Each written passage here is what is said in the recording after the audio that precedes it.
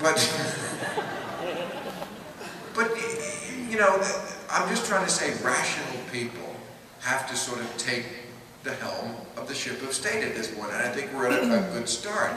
And I, you know, I know Barack Obama is um, a guy who professes to be a man of faith. He talks about it a lot. I think that's because he's a politician in America, and you kind of have to in America. And he's a black guy. He better be a religious motherfucker. But you know, when he when he talks about his mother, he always because she was a secular humanist, he says, and he kind of winks like, I am too. I can't really say it.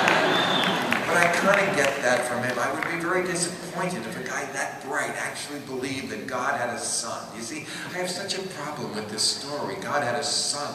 If he's a God, would he be doing such things as having a son?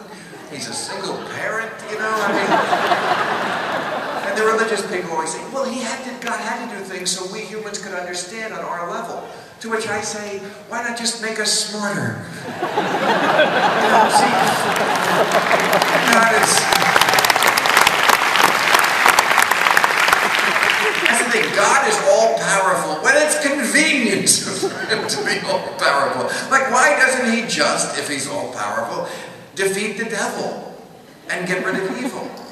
Oh, to test us. Why are we playing this game? You know, just make us smarter and better people. Apparently he has that power. But no, he can't defeat the devil. Because if he defeats the devil, then there's no story, there's no bad guy, there's no reason to go to church, no reason to pass the plate.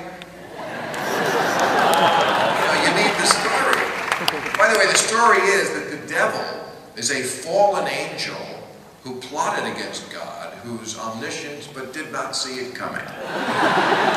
it's not well thought through, this shit. I'm just telling you, it's not that